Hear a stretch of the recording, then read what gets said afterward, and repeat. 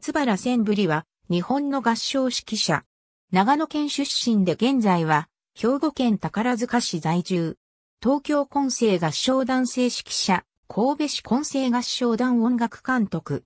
小学生時代から地元の合唱団で合唱を経験した。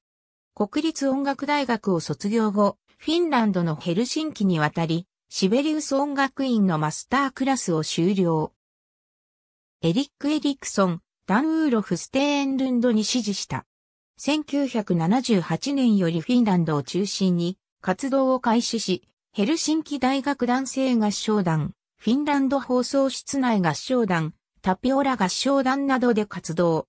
フィンランド放送室内合唱団では1985年から指揮者として携わり、主にルネサンス時代の作品の演奏を行った。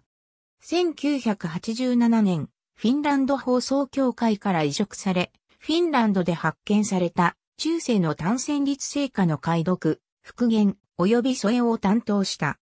1988年からは、バルト三国のプロ合唱団である、エストニアフィルハーモニー合唱団、ラトビア放送合唱団、エストニア国立男性合唱団などの客演指揮者を務めた。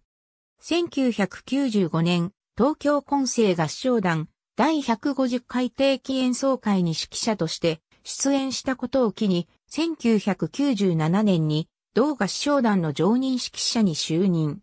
同年に同合唱団初のヨーロッパ公演において指揮を担当した。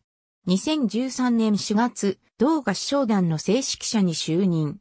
1995年、神戸中央合唱団の常任指揮者に就任。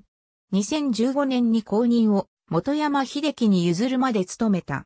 2017年10月、神戸市混声合唱団の音楽監督に就任した。